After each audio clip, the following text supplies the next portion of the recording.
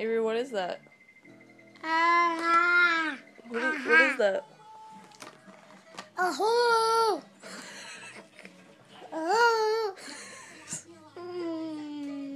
Is that a pickle?